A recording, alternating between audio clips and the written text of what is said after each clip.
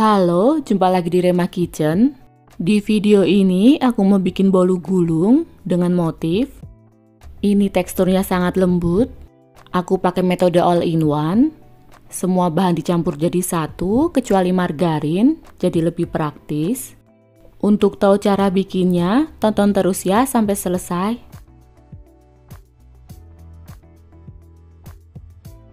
Pertama, kita lelehkan margarin Siapkan air panas, 100 gram margarin, aduk-aduk sampai margarinnya meleleh. Setelah margarinnya meleleh semua, kemudian sisihkan dan biarkan dingin.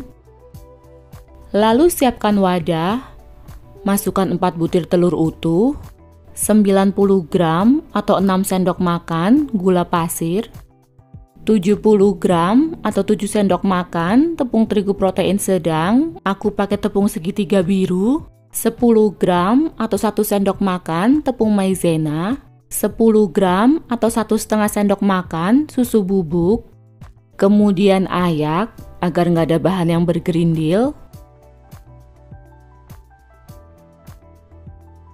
1 sendok teh emulsifier, aku pakai SP, bisa juga pakai ovalet atau TBM, setengah sendok teh vanili bubuk, kemudian mixer semua bahan, gunakan kecepatan rendah dulu agar tepungnya nggak berhamburan. Setelah tepungnya tercampur, kemudian naikkan kecepatan secara bertahap sampai ke kecepatan paling tinggi. Mixer sampai mengembang, berwarna putih pucat dan kental, kira-kira 7-10 menit atau disesuaikan dengan mixer masing-masing. Ini aku pakai metode all in one. Semua bahan dicampur jadi satu kecuali margarin. Jadi lebih praktis dan hasil kuenya teksturnya lebih lembut dan pori-porinya rapat. Setelah 7 menit, adonan mengembang berwarna putih pucat dan kental. Kemudian matikan mixernya, lalu masukkan margarin leleh yang sudah suhu ruang Mixer kembali dengan kecepatan paling rendah, sebentar aja asal rata. Setelah margarinnya tercampur rata, kemudian matikan mixernya. Lanjut aduk menggunakan spatula untuk memastikan semua bahan tercampur rata dan untuk memastikan tidak ada margarin yang mengendap di bawah. Karena kalau masih ada margarin yang mengendap di bawah, nanti bolunya bisa bantat. Ini udah tercampur rata, teksturnya kental seperti ini, kemudian sisihkan. Lalu siapkan mangkuk, tuang sepertiga bagian adonan,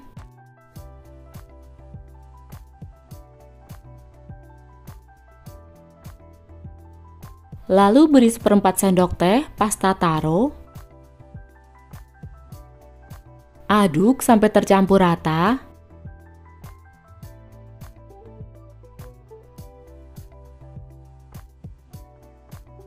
Kemudian masukkan adonan ungu ke dalam plastik segitiga.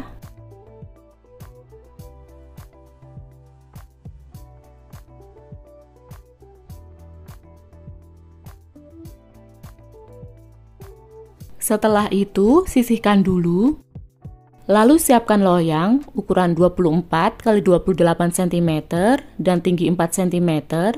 Lalu oles tipis-tipis dengan margarin di bagian bawahnya aja Lalu beri kertas roti dan oles kembali dengan margarin. Tuangkan adonan yang berwarna putih.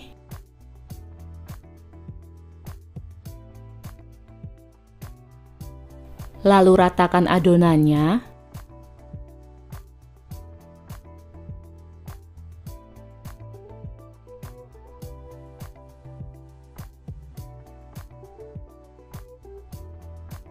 Lalu tuang adonan ungu di atas adonan putih.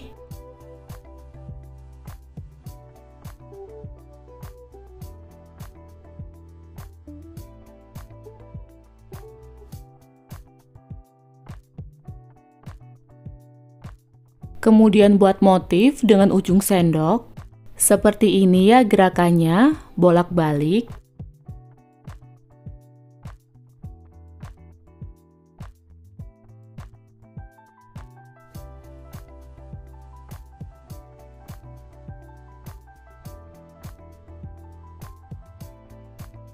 Setelah selesai, ini siap dipanggang. Sebelumnya udah kupanaskan oven selama kurang lebih 10 menit sampai suhu ovennya stabil. Kemudian masukkan loyangnya. Panggang dengan suhu 180 derajat. Gunakan api atas bawah. Untuk waktunya 20-25 menit. Untuk oven tangkring, gunakan api sedang. Panggang selama 25-35 menit atau sampai matang, bisa disesuaikan dengan oven masing-masing. Setelah 20-25 menit, bolunya sudah matang, lalu angkat.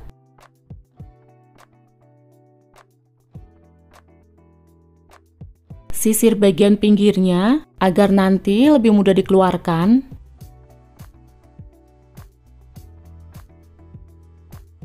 Ini aku pakai kain bersih bisa juga pakai kertas roti yang anti lengket. Lalu angkat loyangnya dan lepaskan kertas rotinya.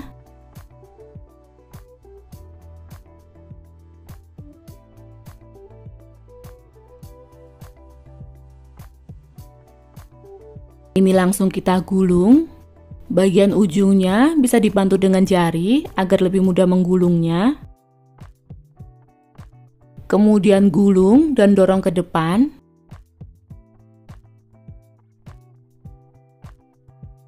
Lalu buka gulungannya.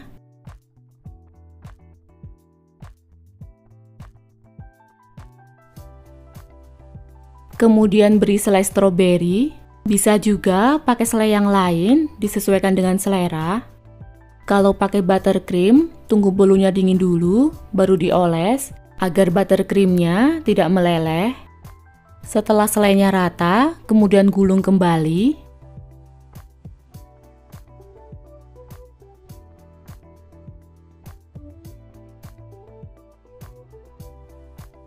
Kemudian dorong agar lebih merekat. Bisa pakai scraper atau alat yang lain.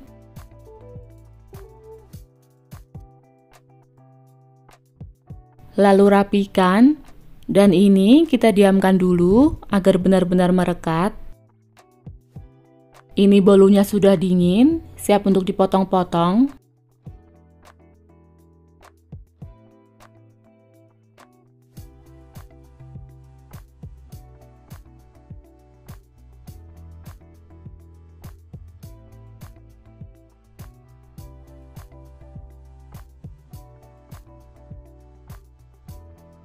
Seperti ini motif dalamnya. Ini mau aku cobain. Teksturnya lembut banget.